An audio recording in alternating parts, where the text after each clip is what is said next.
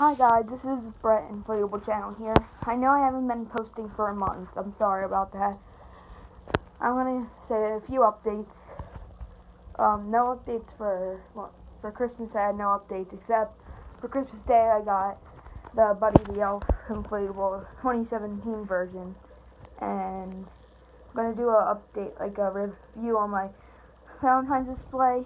All we have is a flag and a one inflatable, an old one actually. It's a Shrek one with a heart, and it comes with two banners and then just one print on the that Velcro to it. It's from 2003. So this the heart says Happy Valentine's Day, and then there's two banners you can put over it.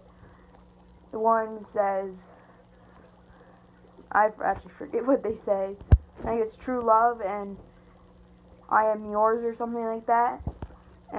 But anyway, and then I just have an Eagles football out because I live in New Jersey and we're mostly like Eagles fans here.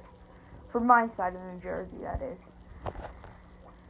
And I guess I, while I talk about this, I'll just talk about my new pet I got. So let's get going. I didn't know what else to show you, so I guess I'll just do a review on this for now. There he is. I just got him today.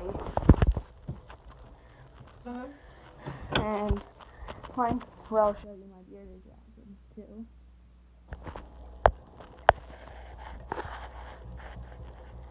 This is Diana. It's actually a boy.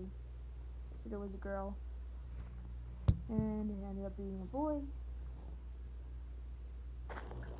And yeah, so we called it Derek after we found out it was a boy, but I never got used to it, so we called Diana.